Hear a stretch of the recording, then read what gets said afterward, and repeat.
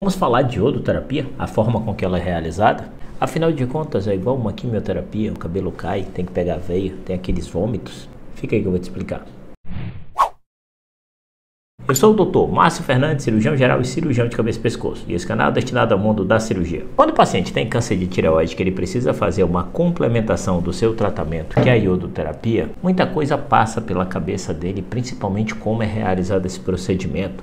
Será que é igual a quimioterapia, que meu cabelo vai cair, vai ter aquela injeção na veia, eu vou estar tá vomitando? Então passa uma série de imagens na cabeça, já imagens padronizadas de tratamento de câncer, e gera um pouco de ansiedade naquele paciente em não saber o que vai acontecer depois no seu tratamento. E eu achei um videozinho muito legal, um vídeo americano, que retrata justamente essa forma da realização da iodoterapia. É o que eu vou explicar para vocês. E esse vídeo mostra exatamente o esquema de como é realizada a iodoterapia. Desde a chegada do paciente na clínica de medicina nuclear, e por que, que nós chamamos medicina nuclear? Porque é aquela medicina que lida com a parte radioativa nuclear. E como qualquer outra clínica, esse paciente vai ser admitido e vai ser direcionado para um quarto. E esse quarto, basicamente, é um local revestido por uma estrutura que evita dissipar radiação, já que a radiação do iodo radioativo ser pequena, mas continua sendo radiação e precisa de proteção. Então vocês percebam que é um quarto como outro qualquer, onde esse paciente, claro, vai ser avaliado, vai ser coletado sua história clínica, feito seus exames e avaliado seus sinais vitais para ver se está tudo bem. E então é realizado a dose do iodo por via oral, como está sendo mostrado. E esse paciente vai permanecer por um período aí de em torno de 24 horas até a radiação do seu corpo baixar nesse quarto. E aí nesse quarto ela vai ficar esperando justamente a radiação do seu corpo baixar.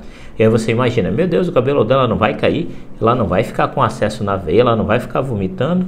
Não, pessoal, é exatamente desse jeitinho, de boa na lagoa, esperando o tempo passar, esperando a radiação baixar para poder ser liberada e assistindo televisão. Claro que não precisa ser esse filme aí que é o Esqueceram de Mim, para quem já viu, conhece, é um clássico. Se a gente fala, ah, mas nossa, é tão simples assim, não tem efeito adverso, não tem nada. Claro que tem, pessoal. Toda terapia, qualquer remédio tem efeitos adversos. Mas é claro que não chega nem perto de um efeito adverso de uma radioterapia ou de quimioterapia.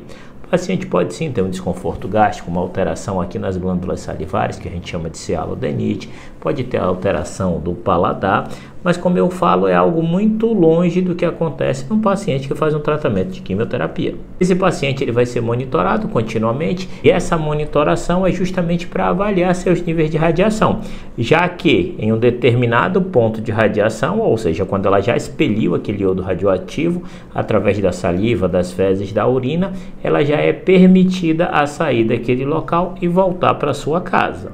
E vocês viram que ela não ficou toda verde radioativa, né?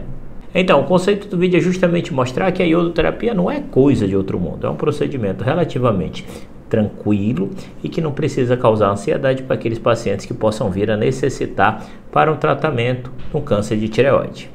Conseguiram me entender?